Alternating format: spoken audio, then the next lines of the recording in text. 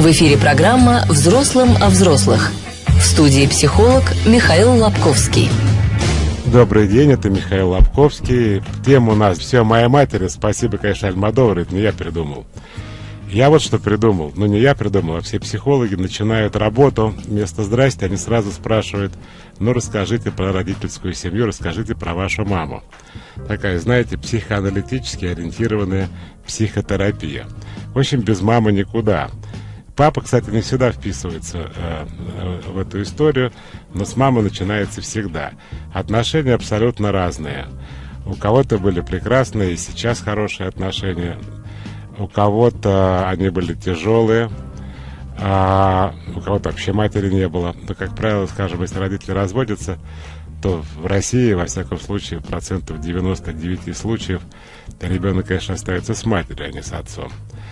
А огромное влияние, конечно, мать играет на жизнь ребенка, уже выросшего ребенка, взрослого человека и так далее. И сегодня мы будем два часа, собственно, говорить о том, какие у вас отношения с вашей мамой, на что вы обижены, а что вы не можете принять, что вы не можете простить, а за что вы испытываете сами чувство вины перед своей мамой, что у вас за отношения сейчас, ну и все проблемы, связанные, как любят так умничать психологи, с родительско-детскими отношениями даже когда иногда в метро едешь, слышишь, там есть такая в Москве, видимо, социальная служба, где психологи, ну, они бесплатные, они, видимо, э, на зарплате у правительства Москвы предлагают а, прийти в там московскую, помню, городскую психологическую консультацию и поговорить там то-то, то-то, то-то и о родительско-детских отношениях. Вот о них мы будем говорить, но не вообще об отношениях, а конкретно все о моей матери, только о маме. Вообще считаю, что с этой темой можно эфир вести лет сто, и вообще сколько проживешь, даже каждый день, и будет нескончаемый поток. Ну, кстати, посмотрим сегодня, насколько это интересно. Добрый день. Вот так. Алло, алло. Алло, слышите меня? Да. Как вас зовут? Меня зовут Ирина. Сколько вам лет, Ирина? Какой-то детский юношеский голос. Мне 35. Понятно. Ну, рассказывайте про свою маму. Э, ну, я вообще начну, наверное, пожалуй, с одного эпизода из моего детства, который мне наиболее запомнился. Я когда была маленькая, лет четырех, трех с половиной, да, меня мама записывала на магнитофон. Ну, там, стихотворение рассказать, либо песенку спеть. Знаете, такая кассета, которая у меня всегда до сих пор хранится. Ну и вот. И э, э, момент, когда мама меня записывала, у меня что-то не получалось, маме приходилось переписывать, мама ужасно сердилась, то есть э, ругалась. Я помню, как страшно я боялась. То есть однажды там буквально до слез мама э, меня довела, что что-то забыла, подзабыла. Вот, и знаете, э, как бы я, я четко помню э, свое, как скажем так, э, школьные годы, когда я маму очень, так скажем, боялась вообще э, вся моя успешная учеба была основана на том, что э, я боялась мамы. А что именно Папа... вы боялись? Мама вас била? Что Нет, мама меня делала? не била, мама меня не била, но она э, такая была, вы знаете, вот строгая, в общем, так угу. скажем.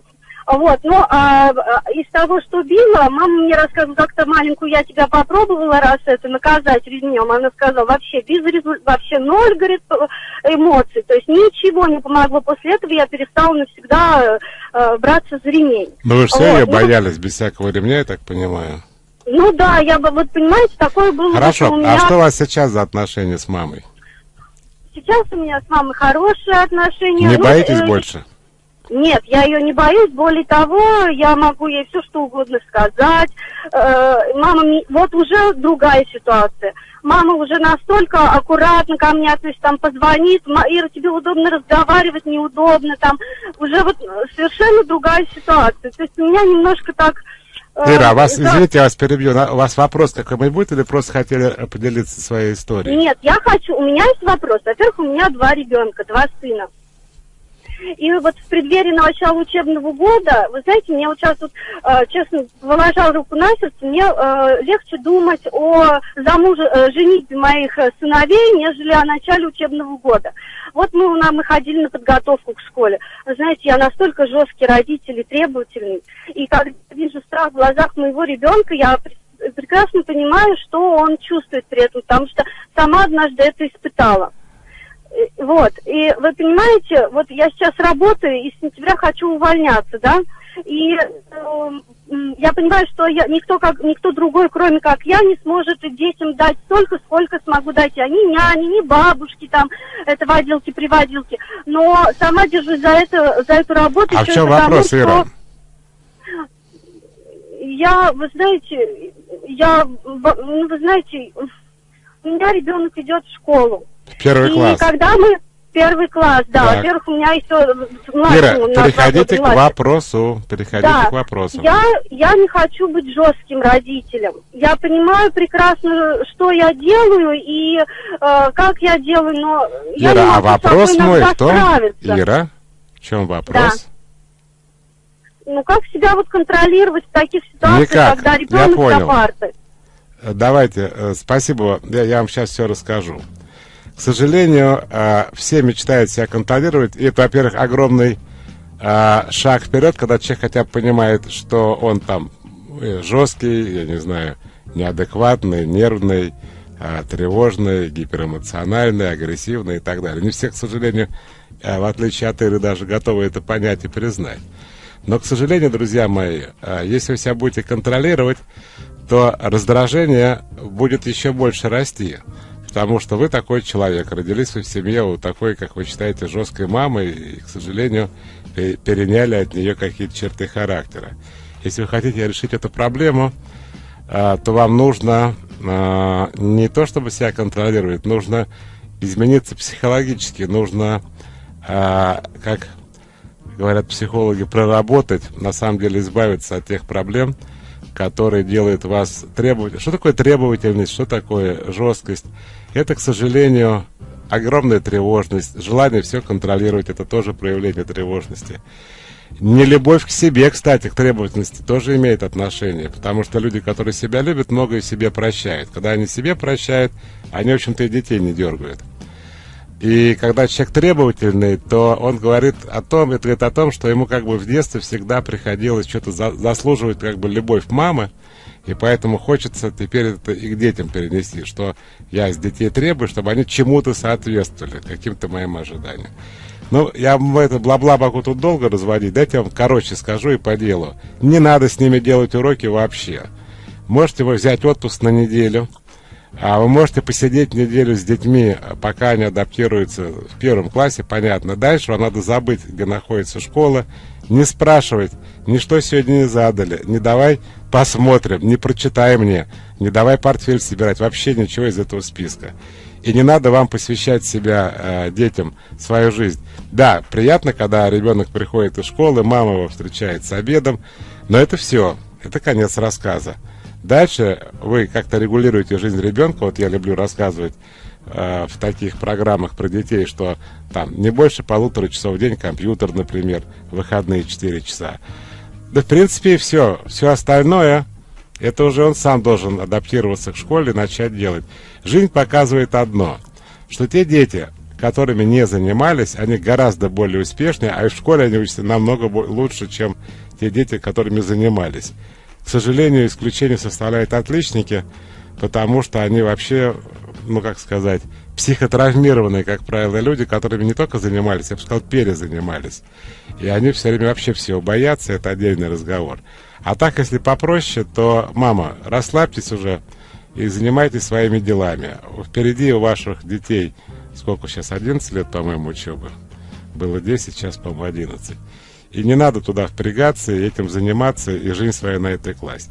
Я сейчас о другом вспомнил, когда вы говорите, что мама была строга ко мне, когда она записывала а, мой голос. Я вспомнил, что месяц назад я читал лекцию, а я лекции вообще читаю уже, наверное, ну, с 24 лет я их читаю. И тут я поплыл, как будто я только первый раз на эстраде. А история была такая. Это была лекция тоже про родителей и про детей, я сейчас точно не помню тему. И я так в шутливой форме говорю, ну, даже если мама вас бычки тушила, ну, что можно сказать? Конечно, обидно, но она просто больной человек. Встает женщина и говорит, ну да, баба, мама моя об меня тушила сигареты. Ну, я вместе с залом вздрогнул, и мы продолжали. Прошло какое-то время, я говорю, а знаете, бывает еще такая ситуация, что родители вообще ни при чем.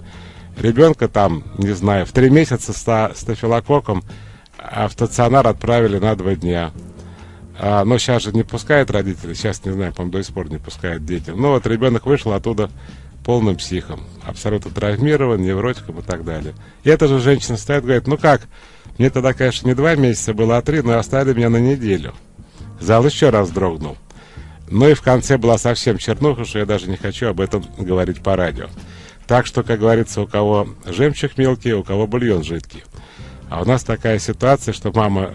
Я понимаю, в э, понимании ребенка и то, и то вызывает чувство страха, но обратите внимание, какая амплитуда материнской любви. От строгости до прижигания сигарет. Добрый день. Добрый. Как вас зовут? Э, Дмитрий. Дмитрий, пожалуйста, ваша история и вопрос. Э, небольшая история, просто э, вопрос у меня в том, что у моей мамы в 93-м году произошел инсульт, в общем-то.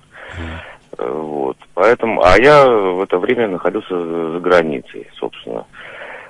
И как бы вот сейчас я вот приехал сюда домой, в Калининград, э, чтобы помогать. Ну, как бы, ну, как угу. я считаю, может быть, я чем-то могу помочь маме. Ну, да. Но э, к вопросу о маме. Мама э, в одно время какое-то определенное меня вытащила со скрипки, я занимался скрипкой э, пять лет, а потом перешел на гитару. Я стал замечательным гитаристом. Но все благодаря маме. Так, а в чем вопрос? А вопрос в том, что сейчас она ко мне относится э, как, я не знаю, кому, то есть она не может понять, что со мной делать вообще, ибо я, честно сказать, выпиваю, mm. Вот. Э, поэтому она не знает, как со мной бороться. Ну, не знаю, бороться, не бороться. Ну, что-то в этом... Скажи, мамин вопрос, что с вами делать? А вас-то по отношению к маме никаких вопросов нету? А, а, хорошо, у меня есть э, короткий другой вопрос тогда. Э, это по отношению к моей жене, которая является это малой моей... Я понял, но это в другую программу. Друзья мои, давайте сейчас сосредоточимся. Я понимаю, кто-то первый раз э, попал на эту программу, не очень формат понимает. Я объясню. Но вопрос – это вообще основа этой программы. Вы спрашиваете, я рассказываю, я вам отвечаю. Но понятно, что нельзя начать с вопроса, Михаил, а надо хоть как-то информацию какую-то дать, да? То есть надо сначала что-то коротко рассказать, потом задать вопрос. У меня к вам просьба. Так как, я не знаю, из уважения ко всем слушателям, нас слушает очень много людей, и и мне очень нравится, когда человек что-то долго жует и не может сформулировать или говорит, вот как сейчас наш слушатель сказал, ну давайте вам другой вопрос, мы же не в школе сейчас. Вы попробуйте, прежде чем вы звоните, вообще сформулируйте, что вы хотите сказать и о чем вы хотите спросить. И тогда у нас будет все прямо прекрасно. Итак, телефон плюс семь четыре девять пять семьсот тридцать сто один. СМС можно прислать на номер плюс семь девятьсот три семь девять семь шесть три три три. Добрый день, Михаил. Я очень люблю свою маму. У нас с ней прекрасная отношения, я в своей жизни делаю, что хочу, она не возражает. Скорее всего, потому что просто не может, ведь я сильнее. Да. Михаил, добрый день. Мама всегда любила э, больше мою младшую сестру. Когда мы выросли, родители на нее переписали трехкомнатную квартиру, а потом купили ей еще двухкомнатную квартиру. Мне тоже хотят. Знаете, да, вот дети, они, конечно, всю жизнь дети, даже когда им самим уже 90 лет. Абсолютно такая последняя детская фраза. Ей купили это, это такая обида детская. А потом в конце все-таки, ну они же меня тоже любят. И написано, мне тоже хотят, ну, видимо, купить. Добрый день. Здравствуйте. Здравствуйте. Как вас зовут? А, меня зовут Ольга. Ольга, пожалуйста. Какой вопрос? Вы слышали мой, э, мой призыв формулировать и спрашивать? Да, да, Давайте. я слышала. Давайте. А, я сама мама, и вот у меня вопрос по поводу моего старшего ребенка. И а, дочке четыре с половиной года. И она практически меня ну, не слышит. То есть, если я прошу что-то ее сделать, Я прошу прощения. приходится- Оля, давайте еще раз сосредоточимся. Мы дольше не будем говорить. Еще раз. Вы это слышали? Слышала. У нас о чем передача? О детях? Оля? ну... а, Оля в другой раз. Да, Аман. Тогда пока. Значит, смотрите, друзья мои, для тех, кто не знает, прямо хочет спросить, но не в теме, не мучайте себя. А у нас каждую последнюю субботу каждого месяца абсолютно на свободную тему два часа. Все, что вы не можете задать в другой программе, потому что не соответствует вашим чаяниям, вы можете задать эти вопросы, когда будет последняя суббота любого месяца. Несмотря на то, что отношения с мамой в детстве, в юности были далеко не идеальны, я не испытываю к ней обиды, у меня нет никаких претензий. Вот только любви и тепла у меня тоже нет. Почему и можно ли с этим что-то сделать? Вот это вопрос, наконец, нормальный человеческий вопрос, программа, которая называется «Все о моей матери». А что можно сделать с тем, чтобы изменить отношения? Я не уверен, что это вам даст э, какую-то любовь или тепло, но вы хотя бы будете понимать, почему так потому что а, мама, видимо, ваша, человек тоже не эмоциональный, потому что у нее была своя мама, ну и так далее, это бесконечная история. Если у вас нет обиды и претензий, это уже прекрасно, потому что, к сожалению, большинство они есть. А мама такая, какая она есть, вот в детстве отношения идеальные, у нее не было выбора. Человек вот, ну, вот такой ведет себя в соответствии со своим статусом психологическим. И вот понимание этого может помочь вам, чтобы ситуация не, не то, что она изменится, вдруг откуда-то любовь-то не появится, конечно. Но спокойное отношение, хотя бы благодарность за то, что вам дали жизнь, может появиться. Добрый день. Добрый день. Как вас зовут? Меня зовут Элеонора. Элеонора, пожалуйста. Здравствуйте. В нашей семье такая странная традиция. У меня разница с братом 12 лет. Э, Точно так же у моих детей разница между сыновьями 9 лет. Э, Происходит то, что в моей семье любимчиком являлся мой брат, ну, то есть младший, и теперь по, э, как бы, в поколении в моем, у- моим любимчиком в семье является опять младший. Из-за этого у меня конфликт со старшим э, сыном. А вот вы сказали любимчиками. Это в чем-то выражалось конкретно? что Да, ваш это брат? выражалось. Ну, расскажите. Это выражалось э, в том, что как раз переходный возраст, который действительно очень такой нестабильный возраст, 12-13 лет, э, рождение моего брата. И, соответственно, запрет на все, кроме э, пеленок, как говорится, уборок, э, прогулок с братом. А Ну, на то что есть, запрет? Ну, э, запрет на прогулки с друзьями, естественно, э, брат большая разница А как видите, почему мама ни с того ни с сего в 12 лет вам запрещала гулять с друзьями? Какое это отношение имеет к появлению младшего брата? Э, Помощница. Являлась я помощницей. М, Понятно, это уже понятно. Так, Да. Ну Хорошо. вот почему-то как-то вот так вот чем у ваш меня вопрос? сложилось.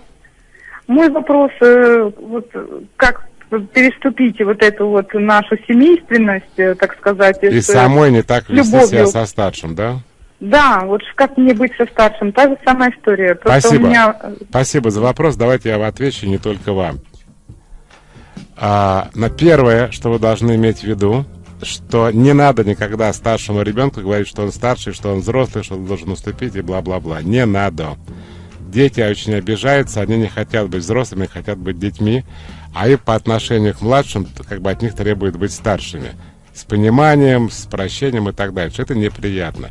И тем более нельзя сравнивать детей. И тем более нельзя заставить перепахивать старшего по уходу за младшим, потому что это может нарушить отношения между детьми на всю жизнь. Если он сам хочет, ради бога. Если не хочет, не надо его заставлять, иначе дети не будут просто любить друг друга, когда вырастут. Ну, дальше мы через пару-тройку минут продолжим этот разговор. Взрослым о взрослых. А, друзья, я еще раз напоминаю, что эта программа «Все о моей матери». Это как-то общее название взрослым о взрослых под названием «Все моей матери». Вы сейчас слушали, благодаря Марии Армус, песню из как раз кинофильма. Хорошая песня. Я, кстати, не знал, что она из этого фильма. Вот, но я хочу не об этом сказать. Я хочу сказать, попросить, чтобы мы сосредоточились. Эта программа исключительно построена на вопросах. Сам я не очень люблю, когда по радио размазывают долго, ну, очень долго размазывают. Поэтому, пожалуйста, именно о маме, именно вопрос, который, конечно, как правило, ему предшествует какой-то рассказ. Добрый день. Алло. Как вас зовут? Алло, добрый день, Михаил, меня зовут Светлана. Э, Дело в том, что меня не будут э, размазывать, как вы говорите. У моей мамы, когда ей было 16 лет, умер отец. Она была такой достаточно ну, отцовской дочкой. И помимо мамы осталось еще две сестры в семье. То есть их было три сестры, мама старшая. И получалось, что мама, видимо, ну, в силу того, что она старший ребенок, чувствовала какую-то ответственность. И там, выйдя уже 18 лет замуж за моего отца, она каждый год вместо отпуска, ну, приезжала к э, бабушке там в Брянскую область, э, копала там ей бабушкин огород, э, занималась делами бабушки, и теперь получается так, то, что мне 28 лет, я как бы, ну, я в полной семье живу, у меня есть папа, старший брат, и у нас есть дача. А, у меня есть личная жизнь, я 7 лет уже живу с молодым человеком, и у меня получается так, что когда начинается дачный сезон, то меня мама постоянно заставляет приезжать и заниматься вот этими делами дачными. А мой молодой человек из-за этого периодически какие-то там э, эмоции выплескивает. Так, хорошо, а вы что да. хотите или не хотите? А, я, я, в принципе, хочу помочь, но я всегда хочу, если вот даже сейчас я еду на дачу, он остался в Москве, приедет попозже, но у нас получается как, то, что яблоко раздора. Он хочет, чтобы А я в чём ваш вопрос? ним. Вопрос в том, как наладить контакт с мамой, чтобы она понимала, что у меня тоже есть Не, подождите. жизнь. Вы, знаете, что Да. вы сейчас делаете? Вы сейчас бегаете между мамой и бойфрендом. Вы И- понимаете? Да, да. Не надо всем угодить. Замучитесь и вспотеете бегать. Вы сами что хотите? А, в принципе, я готова мне на дачу. Я не спрашиваю, что вы готовы, а что вам нравится именно. Хотите на дачу? Да. Помните, девочка, что ты хочешь? Чтобы тебе оторвали голову или на дачу? Говорит, на дачу. Муля, она хочет на дачу. Вы хотите на дачу, я правильно понял? Ну, мне, э, как бы, периодически я готова, да, туда тоже. Вот у вас такая формулировка, это, видимо, от мамы идет. Когда люди Ну, у меня живут... получается, как бы, мама надо мной доминирует, Ну да. или, например, там, я себя чувствую как маленькая девочка, например, она мне говорит, там, и, и приезжай, делай это, а я вот тоже пугаюсь, и, получается, свои, там, почти 30 лет Слушайте, ну, конечно, вам чувствую- 28 лет. Если вы хотите решить эту проблему, вы же для этого звоните сюда, правильно? Да, да, конечно. У вас нет ни мамы, ни молодого человека. У вас даже нет слова «готово». Потому что у вас в семье, видимо, от бабушки повелось, а может быть от ее еще, Да, прабабушки. да. Есть слово «надо», которое заменяет всю радость от жизни. Да, Более да, того, да. мы все понимаем, что этот огород тоже нафиг никому не нужен. Никто с него Конечно. не кормится. Это для удовольствия делается. Поэтому последний раз спрашиваю, вы что хотите? Я хочу жить своей полной жизнью. Конкретно сейчас суббота. Вы что хотите делать в выходные дни? На велосипеде покататься. Вот и катайтесь. Спасибо. И будет вам счастье. Ну, так вот, видите, с трудом, более не менее, это похоже на такой нормальный диалог с вопросом. А, мама погибла у меня на глазах, мне было 15 лет, сейчас мне 38, до сих пор обида на ее ход, что она не послушалась и стала переходить дорогу, как этого не следовало делать. Как ее простить или как не винить себя, что я никак не могла повлиять на это событие. Катя. А, Катя, я понимаю, что э, человек, когда у него горе, он всегда ищет какой-то смысл в том, что происходит или происходило, да? Или мама предала меня, перейдя улицу на красный свет и умерла. Или я могла предотвратить, но я этого не сделал. Ни то, ни другое неправда. Правда в том, что мама такая, как есть, и она всегда, видимо, нарушала правила. Когда это произошло, это уже другой вопрос. Это могло быть при вас, не при вас а в этом возрасте, в другом возрасте. Но если человек, в принципе, а, не соблюдает правила движения, то, естественно, вероятность того, что собьет машину, велика. Я сам не всегда соблюдаю. Это вопрос уже личной ответственности человека. Или без ответственности. Когда он, ну, думает, ну, проскочил, и так всю жизнь как бы и проскакивает. Очень многие, большинство, я бы сказал, просто остаются живыми. Маме не повезло. Это первое. Второе. Вы на эту ситуацию не можете повлиять и не могли повлиять, потому что вам 15 лет, и, как мы оба понимаем, а, мама вас бы вряд ли послушалась. Вы, не, вы ее ребенок, а не, не ее мать. Она вас просто, наверное, послала бы, если вы стали, там, я не знаю, за руку ее хватать, кричать, мама по переходу и так далее. К сожалению, никак, никак. Это надо принять, что это произошло, и жить дальше. Все, что я могу вам сказать. потому что а, так у людей устроена психика, что они, им кажется, что можно было по-другому, можно было не в этом месте и так далее. Вот так произошло, и это, собственно, то, что есть ваша жизнь. Добрый день. Михаил, добрый день. Добрый день, слушатели Серебряного дождя. Во-первых, хочу поздравить вас э, с днем рождения. Спасибо. Здоровья вам крепкого. Э, меня зовут Роман. Спасибо. Вопрос мой следующий. Э, я действительно пытаюсь каким-то образом повлиять на нынешнюю жизнь своих родителей. Меня не устраивает, как они живут. Хотелось бы уточнить, как изменить свои отношения. Они живут, имея всю возможность для путешествия, любого, ну, любой возможности, любого времяпрепровождения, они ограничились проживанием в загородном доме Мгм.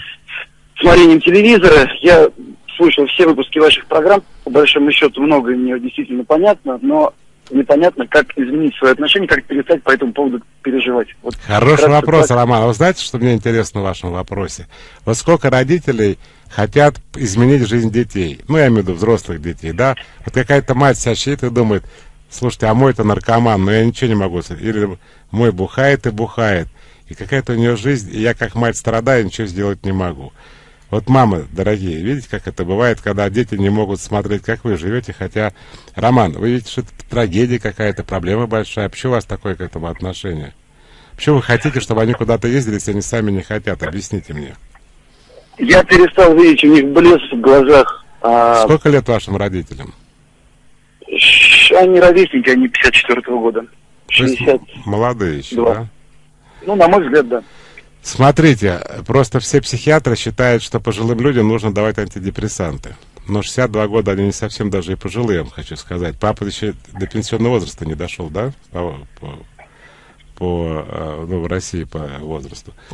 Если это депрессия, если они действительно стали сдавать, или они раньше такие же были, или они раньше, наоборот, ездили-ездили, а потом сели дома. Это вопрос. Я не могу сказать, что они начали, слава богу, сдавать.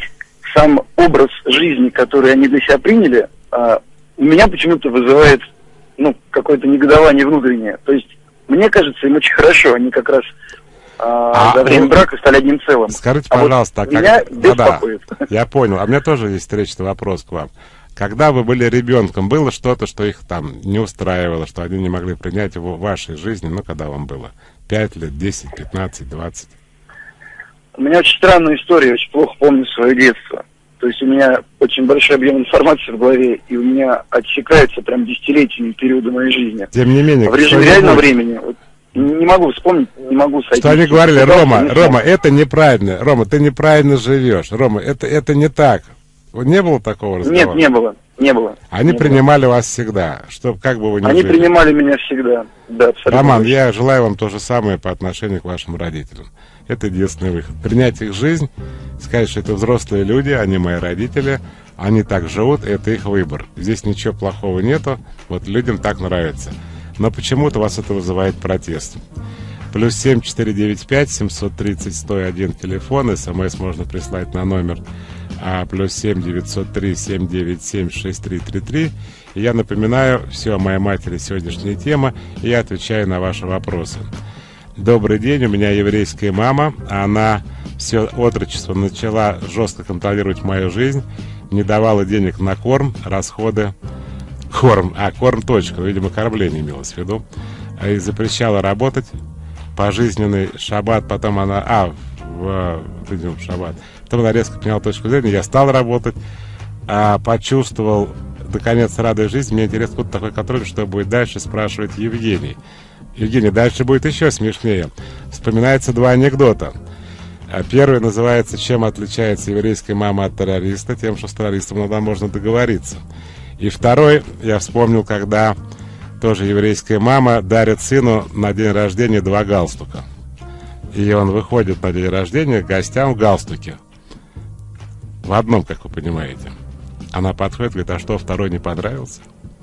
Евгений, примите это просто как национальную особенность. Считается, что да, еврейские мамы в этом смысле немножко перегибает палку в контроле. Добрый день. Алло. Алло. Алло, добрый день. Здравствуйте. Здравствуйте. А, Меня зовут Евгения. Поздравляю с днем рождения. У меня тоже сегодня день рождения. У вас сегодня день рождения? Да. Я вас поздравляю. 26 лет. Сколько вам исполнилось? 26. Так.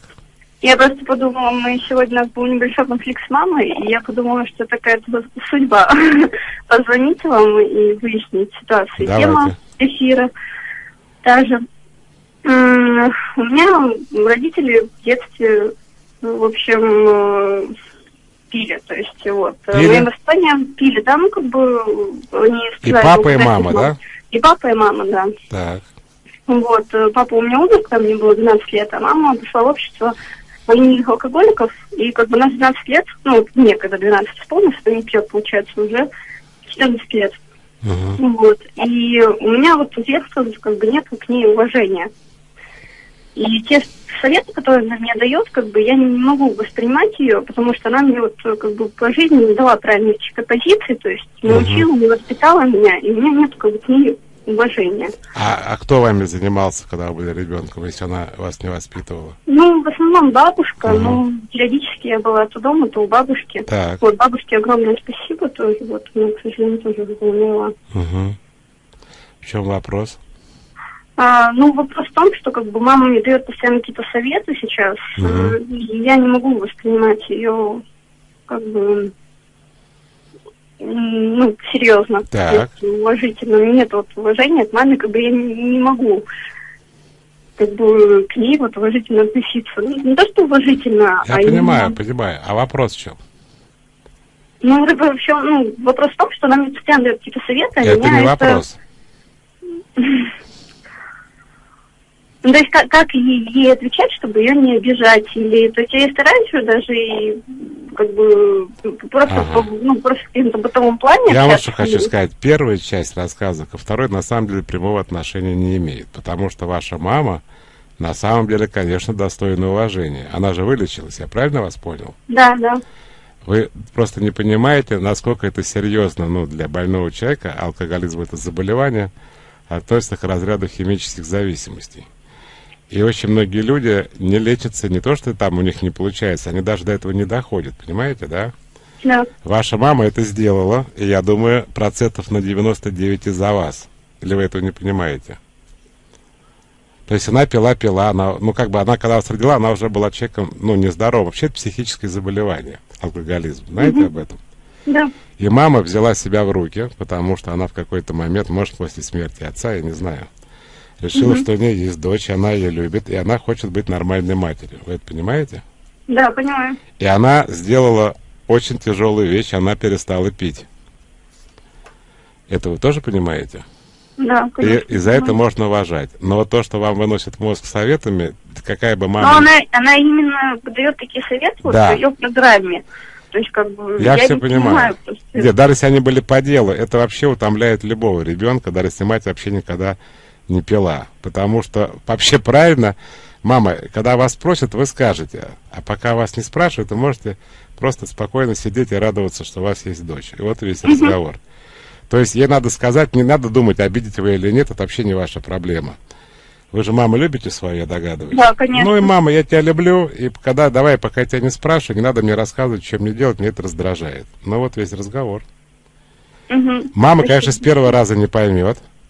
Вы с ней по телефону общаетесь или вы живете вместе? Ну да, в основном по телефону она живет. Значит, если мама не поймет, ей придется как-то учить этому. Каким образом? Вы говорите, мама, там, ну, не надо одно и то же 10 раз говорить. Это вы один раз ей должны сказать. Мам, мне это не нравится, что не даешь со- со- советы. Как только мама звонит, опять дает совет, говорит, мам, ой, слушай, я пошла, пожалуй. И так после десятого раза мама уже придет в сознание и советы давать вам перестанет. Чего я вам, собственно, и желаю. Скоро увидимся. В эфире программа «Взрослым о взрослых». В студии психолог Михаил Лобковский.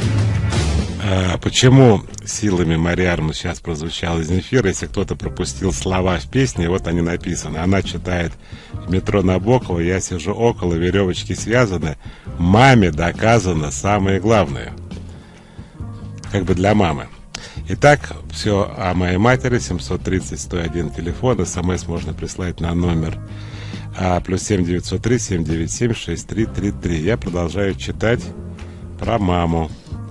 Моя мама с детства твердила мне, что у меня несносный характер, мне нужно жить одной, я ни с кем никогда не ожи- уживусь. Мне 36 лет, у меня нет отношений, есть обида на маму за ошибки. Как перестать обижаться и поверить в то, что я могу уживаться с людьми? Анна. Чтобы поверить в это, Анна, надо немножко повзрослеть, вам 36 лет, а вы считаете, что причина, по которой вы не одна, это потому, что мама говорила, что у вас характер тяжелый, вы ни с кем не можете жить. Вот если вы возьмете на себя ответственность и скажете, то, что мама говорила, меня вообще пофигу. Вот это моя жизнь, мне 36 лет, и то, как я, а, и какие отношения имею с людьми, это уже моя ответственность. Вот в этот момент у вас начнется что-то в жизни меняться. Добрый день. Говорите, пожалуйста, здравствуйте. Здравствуйте. Здравствуйте. Меня зовут Вера. Я Вера. дозвонилась, я не поняла это сразу. Вера, это вам Знаете- снится, но вы все равно говорите. Да, у меня такая ситуация, просто а, у меня мама, она все время у нас была такой домохозяйкой, то есть она никогда не... Ну, Вера, что вас звенит? А, алло, алло, Что вас там звенит? это... Сейчас молодой человек выйдет. Такая что-нибудь с молодым человеком, чтобы мы уже в тишине поговорили. Да, да, да. Вот. А, у, меня, у меня такая ситуация, у меня мама все время а, занималась больше дом- домом, семьей и карьере. Ну, она работала на одной работе немножечко, на другой. Это все было не очень успешно. Вот. А потом, а, как бы меня она воспитывала, как а, ты у меня самая сильная, самая смелая, самая красивая, ты всего добьешься, у тебя все В получится. общем, мама кормилицу растила, точно? Ну да. Так как сама она И- не работала, ну. Да, а и выросла я с тем, что я должна жить точно не так, как мама, то есть я должна а, в первую очередь э, ка- карьерой заниматься. Мне сейчас 26 лет, у меня нет ни семьи, ни детей, и я э, как бы у меня и кроме того у меня не складывается и в карьере, потому что когда мне что-то нужно сделать именно в карьере, там отправить какие-то письма или еще что-то, я откладываю эти дела и начинаю гладить белье, стирать, не знаю, заниматься какими-то домашними делами, а самое важное, что мне нужно сделать, э, чтобы добиться чего-то в профессии, я откладываю на потом.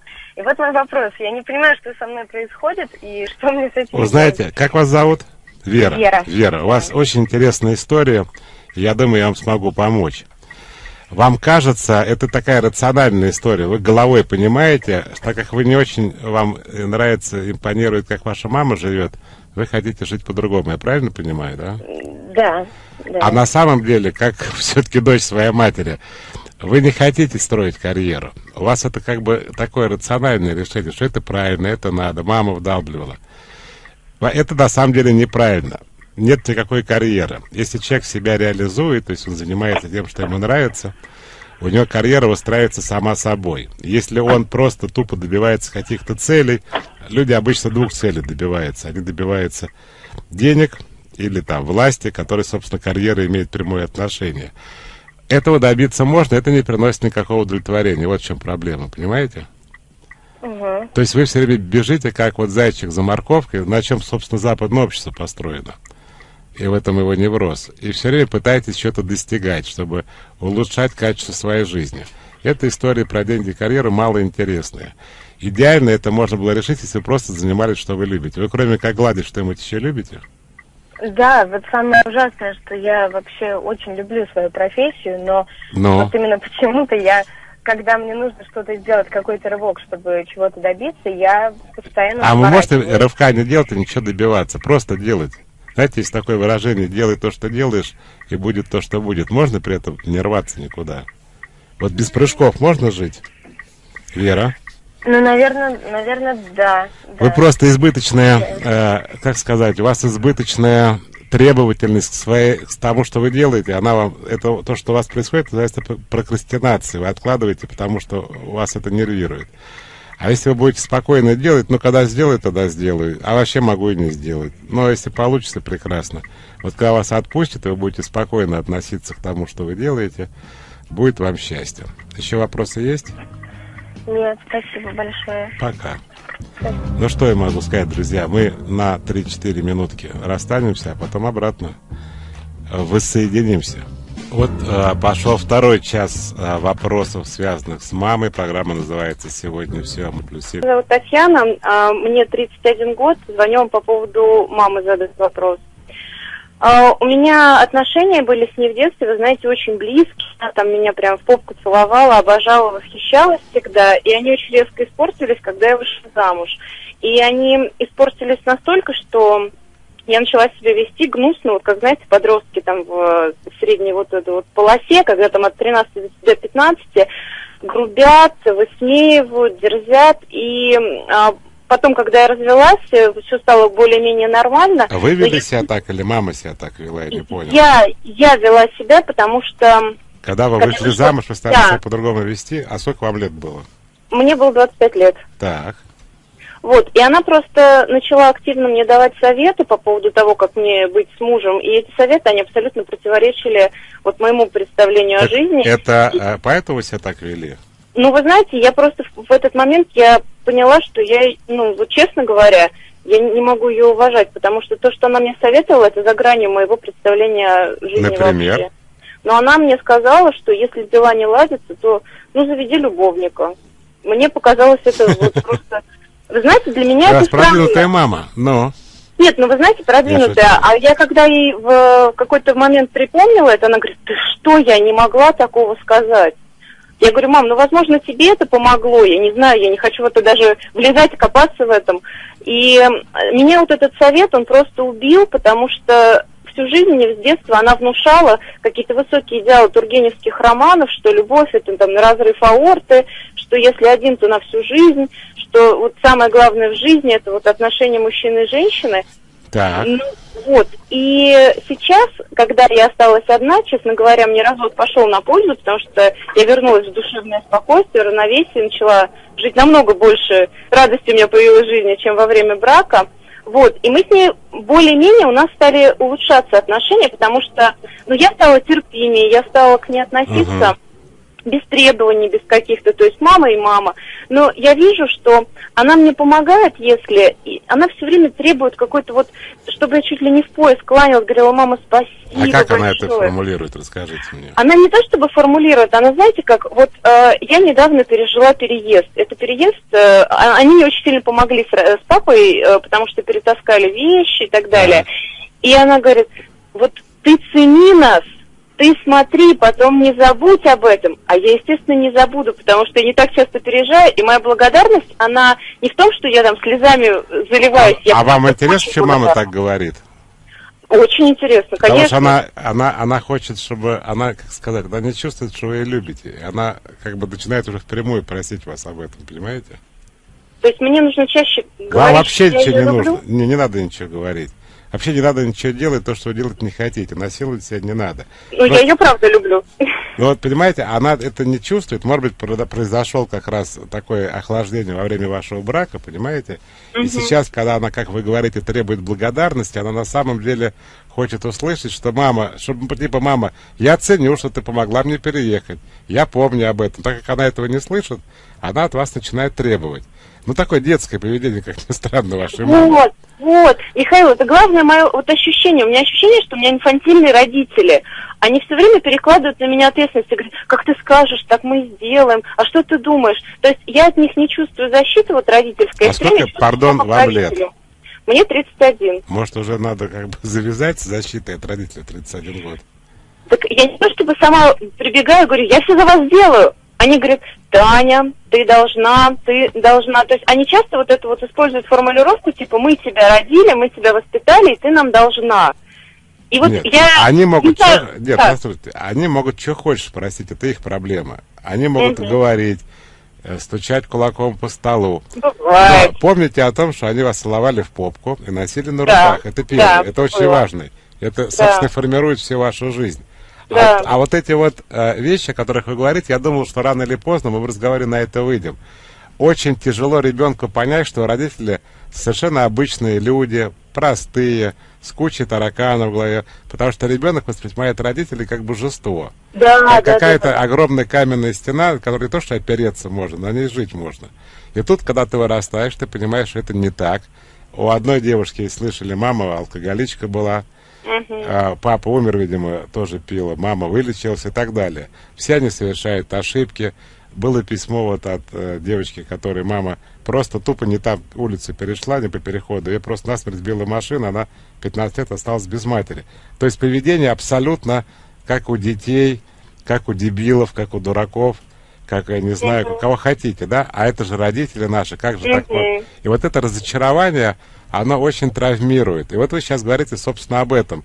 Типа, Михаил, как это так? Почему они такие странные? Чего она так ведет себя странно? Она себя ведет как ребенок, да.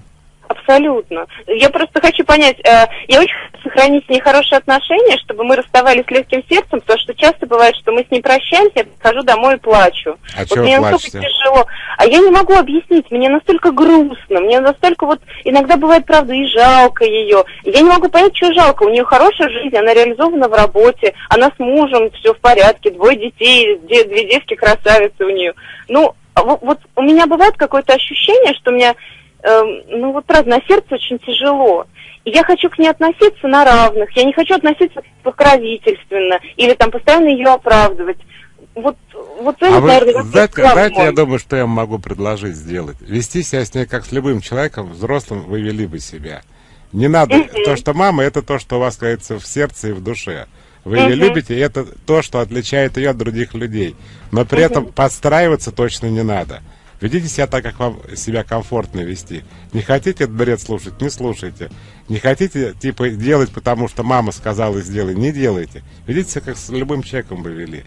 Но вот эта вот сама идея того, что это, с одной стороны, человек, ну, такой проблемный, что ли, неуверенный в себе, что-то просящий, требующий, ноющий. И в то же время это та самая моя мама, которой я вообще в рот смотрела, вот она такой слабый. Да, она такой слабый человек. А что вы думаете, родители, они что, сильнее, чем дети, потому что они старшие?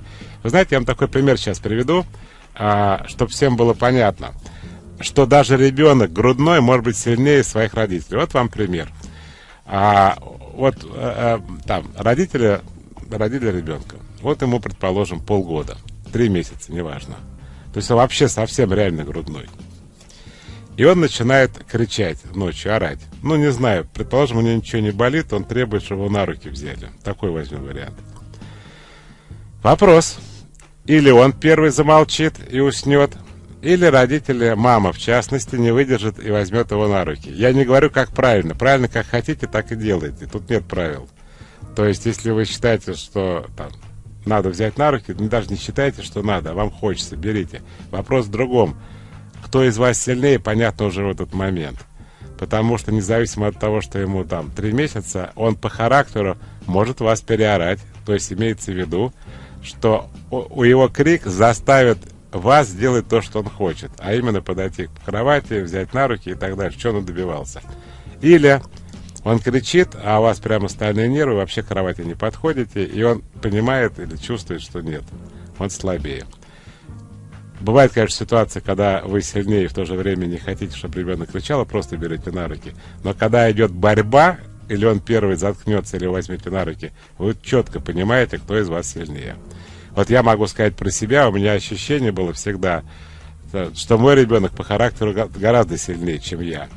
Достаточно только один пример, когда у меня дочь была маленькая, ей клали подарок, например, ночью, э, ну, как это детям у кровати, она могла полночи даже не трогать его, ждать утра. Ну, я считаю, что это железные нервы. Самое главное родителям, детям, когда, родителям, когда они понимают, что дети сильные, не ломать детей, потому что сломать-то можно, вы же взрослые люди. Это наоборот счастье для родителей, когда их дети сильные по характеру, и то, что они сильнее, чем родители, это тоже хорошо. Значит, следующее поколение будет еще здоровее. Здрасте, Михаил, меня зовут Татьяна, мне 31 год. В детстве мама меня била, особенно в подростковом периоде. Два момента помню четко. Запустила в голову тяжелым рюкзаком с учебниками, таскала за волосы и била ногами. Причем мы, причем с братом она так не, и сестрой она так не поступала.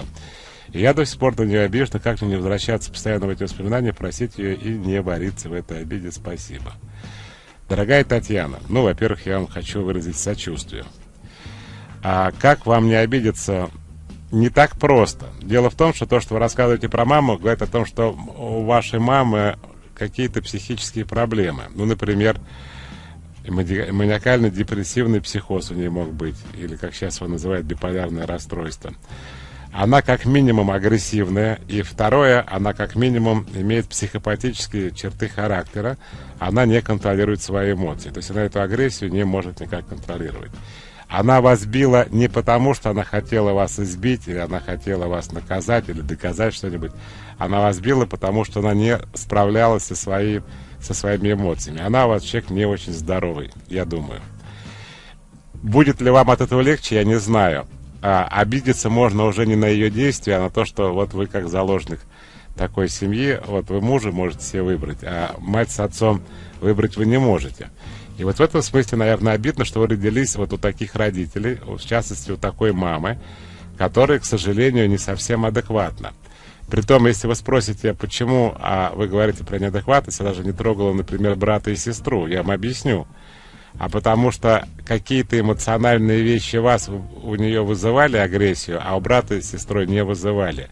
То есть у них другой психотип, который ее не раздражал. Это не вопрос, кого она больше или меньше любит, она вас тоже любит. Это вопрос то, что что-то запускало ее вот этот психопатический механизм, после чего она начала, начинала драться, бить и так далее. Это ее никак не оправдывает в том смысле, что, ну да, это правда. Но если бы вы были взрослым человеком, не дочерью, а ее матери, вы бы ее принудительно положили бы в психиатрическую больницу потому что для принудительного лечения есть как раз такие статьи, как нанесение ущерба физическому и психическому здоровью своему или других людей. Вот ваша мама как раз подпадает под других людей, которым она наносила э, ущерб физическому здоровью. Но еще раз примите мои, так сказать, соболезнования, к сожалению, это так. Еще что хочу сказать, у всех детей, которые сейчас слушают эту программу и думают, и меня мать била, и меня, и отец, и так далее. Это не то, что они били, потому что они вас там ненавидели и хотели, не знаю, избить, вообще убить. Они били, потому что они реально неадекватные люди. Они нездоровые психические люди. Для тех любителей физических наказаний, которые нас сейчас тоже, к сожалению, слушают, а может, наоборот, к счастью, это им поможет. Только в России это называется, ну, такой способ воспитания, как физическое наказание. Во всем мире это обычное уголовное преступление – если соседи слышат, или вы на улице это делаете, или сам ребенок, например, жалуется, детям во всем мире раздают, ну, я имею в виду в большинстве стран, в Европе раздают такие бумажки уже в детском саду с телефоном доверия. Короче говоря, вот это то, что называется на самом деле э, физическое насилие, Приезжает полиция, забирает ребенка в приемную семью, родители лишают родительских прав. И никому не приходит в голову считать, что это такой способ наказания, зато типа я как его ударю, я потом чувствую облегчение, иначе я вообще возненавижу. Это как раз и говорит о том, что родители психически не э, стабильные люди. Это в лучшем случае, а в худшем просто еще и нездоровые. Ну, поехали дальше. Добрый день. Алло, здравствуйте. Здрасте. Меня зовут Ирина. Как? И, Ирина. Ирина, да. Вот, у меня ситуация такая. Мне мама в детстве не давала расслабиться. То есть я была помощницей, как вы уже говорили ранее, у меня брат, ему, он на 6 лет меня младше. Я Ирина, занималась... помните, такое стихотворение было? Вы прямо с этих строчек начали. Мне мама в детстве, помните, что дальше? Нет. Выколола глазки, чтоб я в шкафу варенье не нашел. Я не могу теперь читать стихи и сказки, но чувствую и слышу хорошо. Продолжайте. Вот. И я занималась какой-то работой по дому. То есть независимо от того, нужна ли была ей реальная помощь, я должна была ей помогать. Вот Так. она просто не могла вот и сама расслабиться, и мне дать. Мгм. Она не давала мне высыпаться по выходным. Она меня Ирина, вы чувствуете, вы, вы молодец, вы чувствуете, что вы сейчас сказали? Вы сказали очень правильную фразу. Она не могла сама расслабиться. Да, вот это очень да. важно понимать. И мне тоже жить не давала. Так. Вот, я это все понимаю, но я до конца ее простить не могу.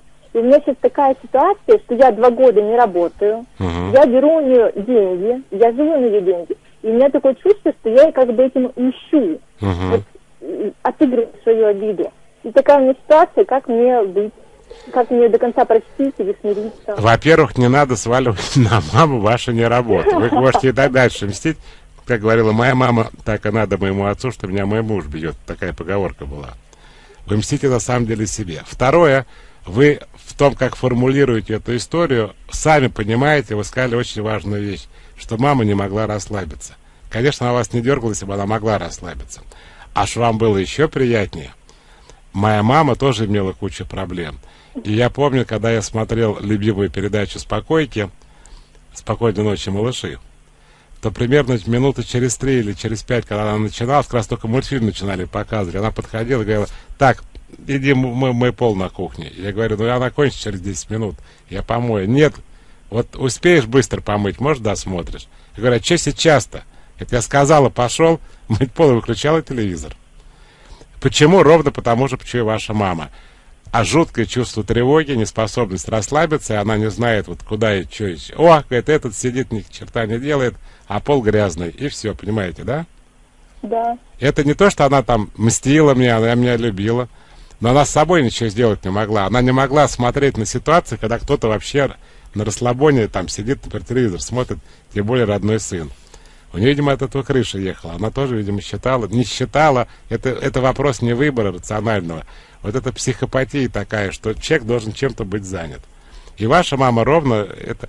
А еще мне было, мне было лет 20 чем-то, у меня была подруга, а она у нее была еще интереснее история. Она говорит, представляешь, говорит, я сплю, ну там, в 2 часа ночи. И вдруг мать входит в комнату, срывает одеяло и говорит, иди пылесось ковер потому что матери бессонница, и она не и жуткое чувство тревоги, и она не понимает, что не так. Говорит, ковры не пропылесосят, кто будет пылесосить? И все, Света ее звали. Она раз говорит, Света, говорит, мама, вы что, типа, головой ударялись? Ты как с матерью, говорит, иди пылесось. Короче, это, друзья мои, так как многие через это прошли, что вам хочу сказать? Ничего личного. Мама не пыталась вас убить в этот момент или испортить вам жизнь. Просто ее патологическое чувство тревоги заставляло заставлять... Это тавтология, да? Заставляло заставлять. Ну, хорошо. А своих детей, что когда их все припахивало, они должны все время что-то делать. Про дачу я, кстати, тоже вспомнил, когда я еще был лет 12, меня заставляли туда ехать, и что-то в ней э, э, копать, я дачу не взлюбил прямо с детства из-за этого. Тоже родители считали, что дети должны чем-то заниматься. Между прочим, а даже без фанатизма, я уверен, что многие мамы, которые нас сейчас слушают, детей запихивают во всевозможные кружки и секции. У детей вообще нету секунды свободны. Они считают, что это правильно, это нормально. Такое, знаете, раннее развитие это называется. Хотя вся наука уже опровергла, сказав, что это совершенно бессмысленное занятие, что все дети, которые прямо уже в яслях начинают учить английский, а в детском саду уже записаны в молодежной сборной по фигурному катанию, они примерно к пубертату уже ничего не делают. То есть никакого английского, никакого фигурного катания. А английский, живя в Англии, можно вообще за год выучить. Ребенка даже не уча, просто живя. А фигурное катание, ну, хочешь катается, не хочешь не катается. И все это бред. И все это никому не нужно, никакого результата. Но выхлопа там нет в этом раннем развитии. А многие ведь ребенка не могут, я суббота, воскресенье-то. Че сидим? Надо что-то делать. А, так, э, Михаил, добрый день. Я часто критикую свою маму за ее внешний вид, поведение и т.д. Хочется, чтобы она была более современной. Объясните природу такого поведения. Дмитрий, 33 года, Екатеринбург. У вас конфликт с мамой. Вы, э, она вас не устраивает. Неважно что, вы зацепились за то, что вы зацепились. Она не так выглядит, не так ходит, не так разговаривает, не так одевается и так далее. Что, о чем эта история? у вас есть обида на маму, которая порождает, соответственно, агрессию. А агрессия, вы должны себе как-то объяснять, что вдруг к маме прикопались. Вот вы начинаете искать какие-то конкретные вещи, поведение, внешний вид и так далее. Вам надо разобраться, что вызвало, каким образом мама вызвала у вас в детстве обиду, которая сейчас переросла в агрессию. Добрый день. Говорите. Алло. Здравствуйте. А, здравствуйте, Михаил. А, а, поздравляю вас с прошедшим э, днем рождения. Спасибо. Как вас зовут? Э, меня зовут Татьяна. У меня такой вопрос. Значит, у меня мама много лет, почти 10 лет, болеет деменцией. Причем в очень тяжелой форме, я за ней ухаживала. Последние три года все было очень тяжело, как бы, и она, ну, то есть кричала, и по ночам мне приходилось там много раз вставать. То есть я, я не работала. Много лет я не работала. Вот сейчас 20 дней она умерла. И, ну, что-то я стала говорить, так вообще, в общем-то, спокойно все переношу. А, но я вот сейчас 20 дней, я, так как я не работаю, я, в общем-то, отдыхаю. Но у меня как-то, видимо, началось какое-то волнение, что вот нет ли в этом ничего страшного, что как бы, ну, какой-то я вот такой может быть, даже не апатии, насколько это нормально, сколько, сколько вообще ну, имеет смысл отдохнуть, потому что, честно говоря, я боюсь, э, ну, как э, зарубежные вроде как психологи говорят, что у 70% тех, кто ухаживал за такими больными, тоже впоследствии может быть Альцгеймер. Не-не-не, я думаю, это, Альцгеймер не может быть от работы. Вы знаете, что а, именно вот ухаживающие, причем именно родственники они я... пишут вот последние Да ладно, дело в том, что э, очень много людей с Паркинсоном, с Альцгеймером, уж деменция тут вообще забита домами престарелых, там вообще работают и живут. И никто... Ну, они поставили ей деменцию, но последний мне невролог сказал, что, возможно, это был и Альцгеймер, но же все это не проверяют, то есть она так орала, что вот... Давайте по порядку, Танечка, да. давайте по порядку. Первое. Да, да. Это не заразно, то есть вы не можете за это ничем заболеть, это понятно? Ну, это да, мне просто, я думаю, может быть, у меня уже психика... При... Завязывайте читать интернет. Там много написано всякой пурги. Второе. Все ясно. Ваша реакция на мамину смерть тоже понятная. Во-первых, вы были к ней готовы. Когда ты ухаживаешь за, за больным человеком, ну, больным, э, болезнь которого в результате приводит к смерти, да? Не все болезни ну, да. приводят к смерти. Да. То вы уже стали, это же не один год продолжалось, готовы. Да. да. Поэтому вот такая реакция. Понимаете меня? Не потому, что вы бесчувственные, не эмоциональные и так далее, а потому что вы это переживали каждый день изо дня в день в течение многих лет. И когда это произошло, это был обычный ожидаемый день. Вот такая вот неприятная история. Мне просто вот более даже интересно другое. То есть ничего, то, что я вот сижу 20 дней, ничего не делаю. Мне, в принципе, я вот думаю, что вот сейчас я освобожусь. А сколько вы с мамой сидели? Театром. Сколько вы сидели с мамой? С мамой? Сидела 10 лет, последние три года были вообще а очень сколько тяжелые. маме лет? Маме 82. И она 70 лет уже, да, этим страдала? Да. Ну, просто сначала это все было так, ну, такие странности в плане того, что воруют, ну, там, что вот с утра просыпаешься, ложек нет. Я знаю. Там, ты я, знаю, что хочу сказать. Надо, есть такие вещи, пусть, вы такой звонок важный, я считаю, что я хочу, чтобы, так как у многих пожилые родители, кое-что сказать. Деменции можно отодвинуть или вообще можно обойтись без деменции. Первое, это, конечно же, некий здоровый образ жизни, в котором нет там сигареты и остального связанного с сосудами вещей. Угу. Значит, спрячь сосуды головного мозга. Но если они все забиваются, они в мозгу тоже забиваются. Второе. Вот помните, был человек, который вот позвонил, сказал, что его родители живут в доме, никуда не выезжают, там вроде бы нормально, но его это раздражает. Вот когда с возрастом люди начинают жить одной и той же жизнью, повторяющейся, как в фильме «День сурка», ну, то есть они никуда не ездят, они не выходят из какого-то, из, как, из какой-то вот ну, на, ну а, такой стереотипной жизни, да, у них каждый день похож на предыдущий. Это влечет за собой деменцию. В чем, почему? Потому что мозг не развивается, новые нейронные связи не образуются. А, поэтому рекомендуется вот те геронтологи, которые работают с деменцией, они предлагают такие вещи, как писать справа налево, ходить задом наперед, по-другому шнурки завязывать, по-другому зубы чистить. Зачем? для того, чтобы а, новые прокладывать а, нейронные связи в мозгу. Потому что мозг начинает деградировать от того, что вы не развиваетесь, от того, что вы все время делаете стереотипные вещи, и с возрастом сужается а, жизнь. Почитайте, не надо только заставлять родителей сходить задом наперед и слева, справа налево писать, не дай бог, надо мне буквально понимать. Э, хотите, к гератологам обратитесь. Вот когда человек все время обучается, что-то вот э, предлагает старикам стихи учить, языки начать учить, это отодвигает деменцию, и можно вообще, так сказать, прожить всю жизнь без деменции. А вы действительно работали столько лет, в смысле, давно работали, жили с мамой, вам надо ну, передохнуть, и у вас начнется новая жизнь. Вам самой сколько лет? Мне 40. Ну, молодая еще. Но просто, видите, десятилетний стереотип, он должен пройти и начаться другая жизнь. Не можете сами, идите к психологу, а мы с вами на пару минут простимся. Взрослым о взрослых. Ну вот, продолжаем разговор о матерях. Программа «Все моей матери». Обижена на маму за то, что ее личные интересы, карьера, например, она всегда ставила выше интересов других членов семьи. От этого мы с отцом страдали, хотелось больше внимания, любви. Юлия. Дорогие друзья, у меня есть такая особенность. Кто знает про мои шесть правил, я стараюсь не отвечать, когда меня не спрашивают. Вопросов здесь не было. Мама перешла работать уборщицей, когда я переходила в старшие классы школы. При этом всеми фибрами своей души показывала, какой унизительный этот труд. Это было сделано, в общем, с целью, чтобы я хорошо училась, а желательно на отлично.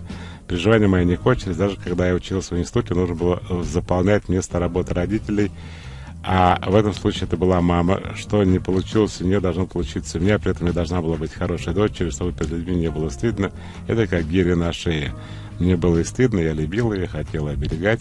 Осталась обида, что делать, когда я высказал, почему она так сделала, я уже не помню, но меня обвинили, как я посмела так к ней относиться. Вы знаете, я сейчас вспомнил такую историю.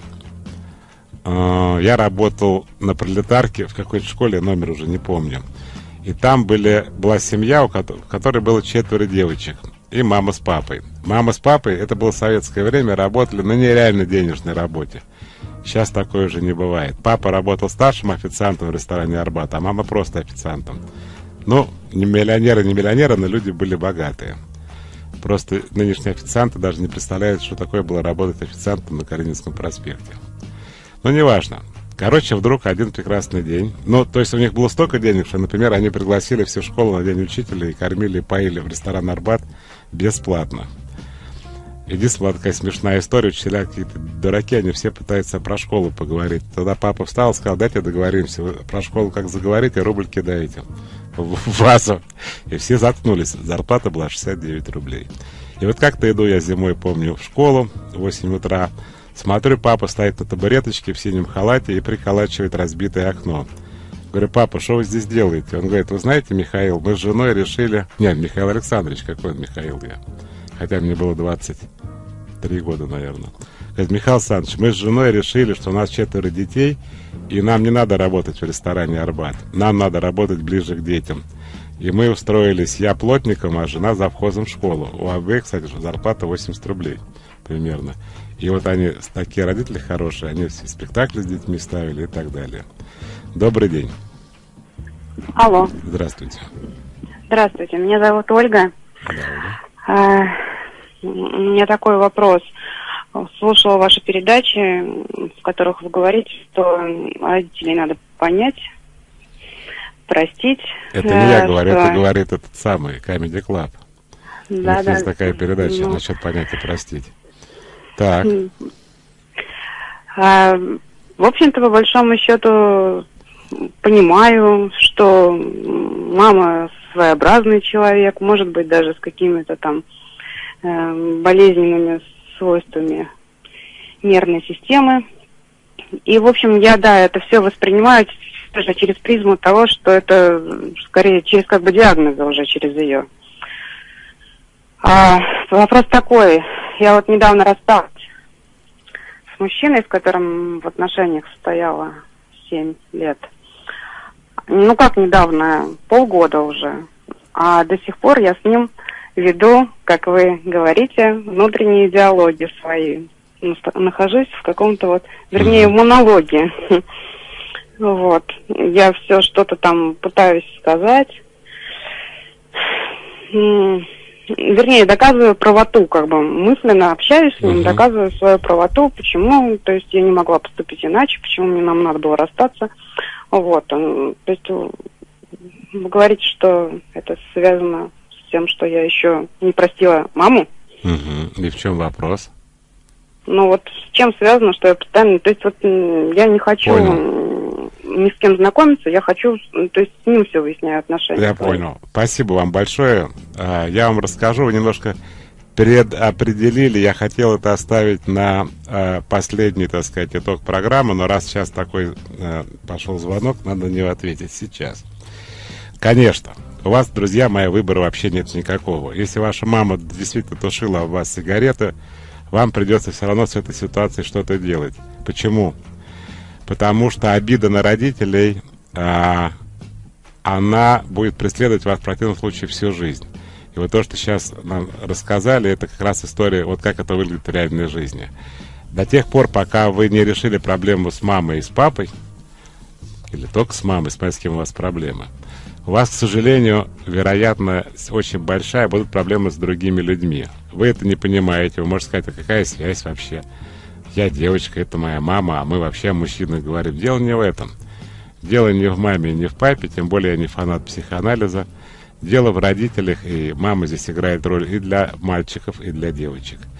Вот это чувство обиды, чувство несправедливости, как она могла со мной так поступить, что я ей плохого сделала, за что можно было так с ребенком, ну и так далее. Это и есть, к сожалению, ваш эмоциональный мир. Почему? Ребенок любит родителей просто так. Он, когда рождается, у него животная привязанность к родителям, к маме особенно. К папе в процессе участия папы в жизни а, формируется привязанность. И вот ребенок любит, а родители в это время ведут себя странным образом. Вот, сигареты тушат, ногами бьют, не кормят, заставляют э, мыть полы прямо посреди ночи, на улицу не отпускает, орут, скандалят, я не знаю, все, что вам придет в голову, вы можете туда вставить. И у ребенка получается очень жесткая зависимость любви от страданий определенных. Например, люблю и скучаю, люблю и боюсь, люблю и жду, люблю и чувствую себя покинутой и так далее. И когда ребенок вырастает, вот это вот двойственное отношение любить и страдать, которое ребенок несет от родителей, оно его начинает преследовать. И вот то, что вы сейчас говорили, что мы уже расстались, а я продолжаю находиться в диалогах и монологах, это оно и есть. Почему? Любовь, друзья мои, это очень простая вещь. Это, к сожалению или к счастью, кому как повезет, всего-навсего переживание детских эмоций. В любви больше нету вообще ничего. Еще раз, для тех, кто не понял с первого раза, любовь – это переживание детских эмоций. Конец рассказа все, что вы должны знать про любовь. Так вот, э, потребность переживать те или иные эмоции формирует, собственно, людей, с которыми вы общаетесь, и отношения, в которые вы вступаете. Понятно, что кого родители целовали в попку, они все время будут искать тех, кто будет их любить. Ну и сами любить будут. Те, у кого было тяжелое детство, к сожалению, также тяжело входят в отношения и такие же тяжелые отношения с партнерами. Обиды, э, чувства унижения, несправедливости и так далее. А почему родители не отпускают? Это заложено ими было в детстве, не, не то что ими буквально, а вот этими отношениями. Это ребенок уже выросший пытается найти эти чувства уже во взрослой жизни. Поэтому единственный способ решить эту проблему, ну, может быть, не единственный, но я так о нем думаю, это разобраться с родителями, какие бы они ни были. И когда вы с ними до конца разберетесь психологически, и вы их примете такими, какие они есть, и примете свое детство такое, какое оно было, и так дальше, вас отпустят, и у вас появится возможность дальше жить счастливо, а именно любить себя, встретить людей, которые будут любить вас, и иметь с ними совершенно другие отношения, вообще ничего общего не имеющие с жизнью ваших родителей и с вашим детством. Я не знаю, все ли понятно из того, что я рассказал, но так как у нас передача каждую субботу, мы будем время от времени, это очень большая тема, и за одну передачу не скажешь. Так вот, женщина очень правильно формулирует вопрос. Она говорит, это, это имеет какое-то отношение к маме? Да, имеет. Более того, если вы не любите кого-то из родителей, то эта э, любовь распространяется и на вас, потому что дети ассоциируют себя в любом возрасте э, как часть своих родителей. Если они обижены, не любят, там, недовольны и так далее, то они и себя тоже за это же не любят. То есть они, у них такой внутренний конфликт получается, что я тоже плохой человек, потому что вот у меня такие родители. Ну, давайте на этом пока мы этот, этот и ответ свой закончим, потому что у нас еще очень много сообщений. Добрый день. Никогда не чувствовал безусловно любви. Всегда было чувство, что эту любовь не надо заслужить. Поведением, учебой, выступлением. Плюс комплекс отличницы. Сейчас страдает за низкой самооценкой. Как можно исправить ситуацию? Чего нужно начать? Спасибо, Ксюша. Ну, ведь Ксюша хотя бы к себе любовно относится, называет себя Ксюшей, а не Ксенией Петровной, например. Хорошо, Ксюша, давайте об этом поговорим. Вот вы говорите о том, что вас не любили безусловно, и поэтому теперь пытаетесь тоже все время ну и самооценка низкая, и комплексы появились и так дальше. С чего надо начать? Первое, надо понять, что у вас есть потребность быть хорошей, нравиться другим людям и так дальше. И если вы за собой это замечаете, никогда не делайте то, что вы делать не хотите, даже ценой того, что вы кому-то не понравитесь. Кто-то а, скажет, человек, Ксюша, плохой. Вот когда вы перестанете этого бояться, быть отвергнутой, быть непонятой, а вы, например, человек говорит, сделай это, это. Я не хочу тебе ничего делать. И вот эта вот способность, э, что будет от вас плохое мнение, и вас это не волнует, может разрушить вот эту детскую историю, что вы должны были чем-то заслуживать. Теперь, если вы перфекционистка, у вас есть комплекс отличницы, вы можете позволить себе делать, как вы делаете, не доводить до конца, бросать на полдороги и так далее. То есть не надо все вот вот если вы чувствуете, что там напрягает уже, ну оставьте эту ситуацию такой, какая она есть. Позволяйте себе, говоря по-русски, быть несовершенной, а, позволяйте себе расслабиться, если вы хотите расслабиться и так далее. Вот какими-то такими действиями. И очень важно с людьми, как я уже сказал, не пытаться им нравиться, э, все на себя брать, а, ничего не отказываться. Если вы чувствуете, что этого делать в ущерб себе, просто этого не делаете. А, здравствуйте, Михаил. Меня в детстве мама била, унижала, все решала за меня, выросла неуверенной в себе, тревожно, не люблю совершенно. Сейчас я живу в своей семье, ощущаю адскую зависимость от мнения матери, хочет все время ей угодить. Как от этих ощущений избавиться? При всем этом ощущаю ужасную обиду за ее отношение ко мне, обиду до сих пор не слышала искренних слов любви и поддержки. Стараюсь не повторять ее поведение со своими детьми, как преодолеть моральную зависимость, как простить, как начать себя любить. Спасибо, Ирина. Вот прикликается ваш, а, Ирина, вопрос вопросом Ксюши. Каждый раз, когда вы хотите что-то сделать или не хотите что-то делать, вы должны спросить себя, я это хочу или не хочу, и не делать, если не хотите. Мама может говорить, да ты что, что такое делаешь? А вы на это можете сказать, мама, давай я тебя когда спрошу, ты мне расскажешь, пока я тебя не спрашиваю. То есть вам надо за счет поведения пытаться разрушить старый стереотип отношений с мамой своего поведения. То же самое – а, не надо пытаться понравиться, не надо пытаться угодить. Если вам неприятно, не делайте этого. Не делайте ради маминой похвалы. Перестаньте спрашивать людей, хорошего или плохая, правильно вы делаете или неправильно, потому что это все тоже из детства, и это тоже провоцирует дальше неуверенность. А, здрасте, Михаил, у меня есть младший брат, у него ДЦП. ЗП, я не знаю, что это такое. Очевидно, что с ним происходит, приходится нелегко, Э, в плане воспитания. Моя мама не очень сдержанной. У брата случаются истерики. Во время занятий он психует. Она реагирует очень бурно, кричит, потом истерит, может подзатыльник дать. Хвалит редко концентрируется только на плохом. Редко говорит, что любит и так далее. Скажите, как я объясню, что с ним надо нельзя вести, что делать в этой ситуации? И как перестать э, на нее обижаться?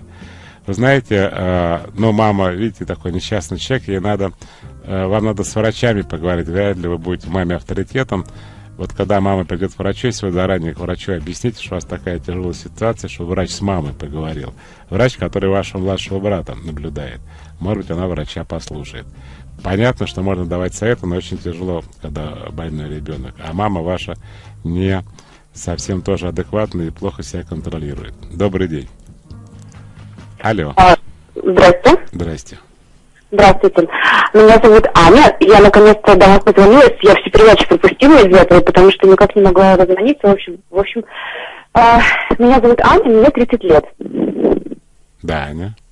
А, я хочу задать вот такой вопрос. А, точнее, вот э, хотела бы понять, какой вопрос. Очень коротко, у нас меньше минуты, Анечка. А, да, э, я хочу спросить, э, вот э, как можно простить маму?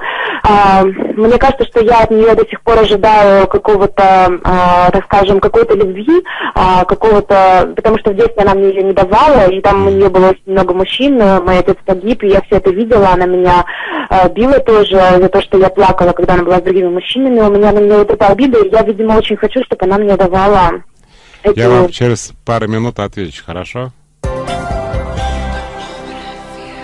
Взрослым о взрослых.